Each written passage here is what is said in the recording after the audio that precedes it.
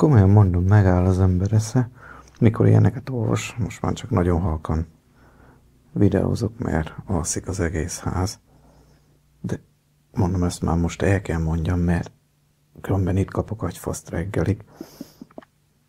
Most olvasom a Facebookon, valami inci-finci zenész azt mondja, hogy kreatív designerek, tervezzünk neki egy lemezborítót, mert három darab CD-je jelenik meg, azt tervezzünk neki lemezborítót csak úgy. Ingyen. Bárki, osszuk meg ezt az állapotot, azt tervezzünk neki lemezborítót. Ilyet az ember eszem megáll.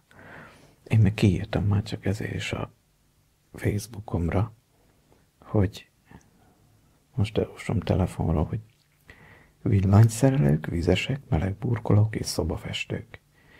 Ki kéne cserélni a csaptelepeket, villanykapcsolókat és kitatarozni a lakást. A nyertes pályázó fizetségül 50% kedvezménnyel vásárolhatja meg az autogramos fényképemet. A lájkolók és megosztók között kisorsolok egy eredeti Turi Tamás által kézzel dedikált fényképet. Na, úgyhogy én is ezt fogom csinálni, majd kiírkálom ilyen állapotokat.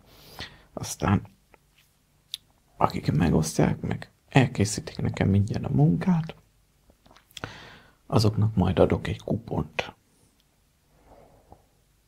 És akkor, hát nem, nem tudom, azért, mikor már az ember azt gondolná, hogy az emberi pofátlanságnak már nincs határa, akkor mindig valaki jön és felül tudja ezt überelni.